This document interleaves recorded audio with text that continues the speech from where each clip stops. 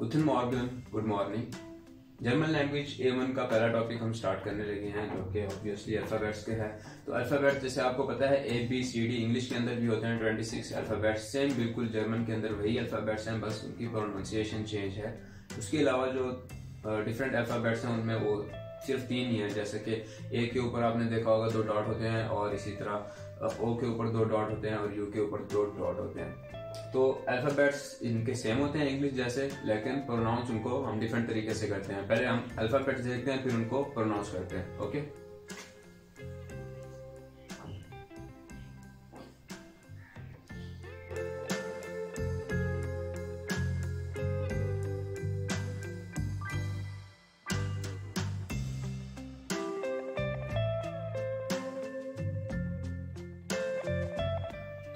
देखिए same alphabets हैं, जैसा कि इंग्लिश के हैं, बिल्कुल सेम डोइच के अंदर भी सेम अल्फ़ाबेट्स हैं। बस इनको प्रोनाउंस करने का जो तरीका है, वो मुख्तलिफ़ है।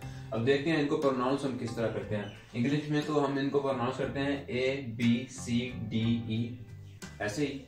लेकिन डोइच के अंदर इनकी प्रोनाउंसिएशन चेंज है।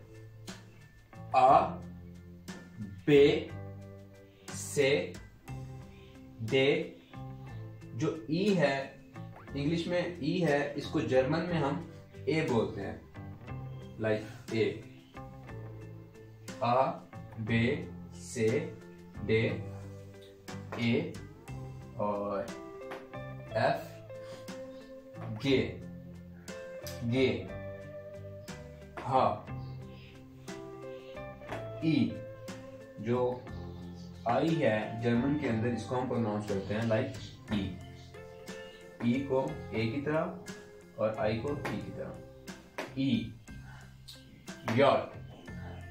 K L M N O P P खू एयर एस टे U U, V वे U, V, V, X, Epsilon and set तो आई होप क्लियर होंगे ये इनकी प्रोनाउंसिएशन किस तरह होती है।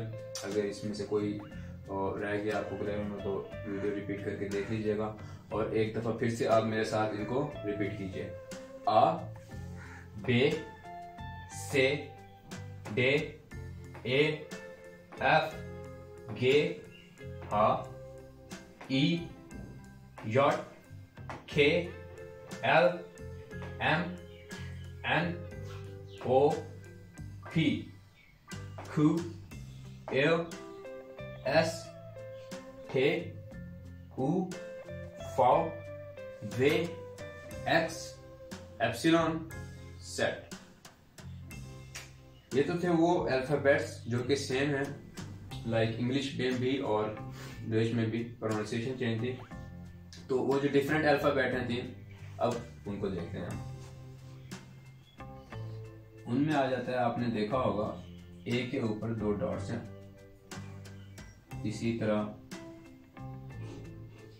ओ के ऊपर दो डॉट्स हैं और यू के ऊपर दो डॉट्स हैं। और इसके अलावा लाइक बीटा साइन इसको उमलाउट हम बोलते हैं। ये दो डॉट्स हैं। इसको बोलते हैं umlaut it is like a umlaut अच्छा इसको प्रोनाउंस किस तरह करते हैं हम?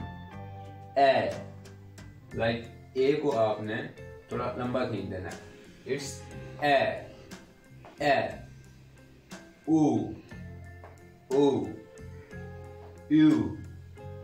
ये था ऊ ये है यू। यू। अगर मैं इसको थोड़ा राइट करूँ शायद आपके लिए ये हेल्पफुल हो। इट इज़ लाइक इसकी अगर साउंड में लिखूं तो इट्स ए एंड इट्स ऊ ऊ थोड़ा खींच देना है इनको। बाकी इनकी साउंड सेम ही है। और इन, इसको अगर मैं लिखूं तो यू यू और ये जो बीटा साइन है, ये जस्ट साइन बीटा है, वरना इसकी साउंड जो है, ये डबल एस की है। लाइक एस साउंड है इसकी।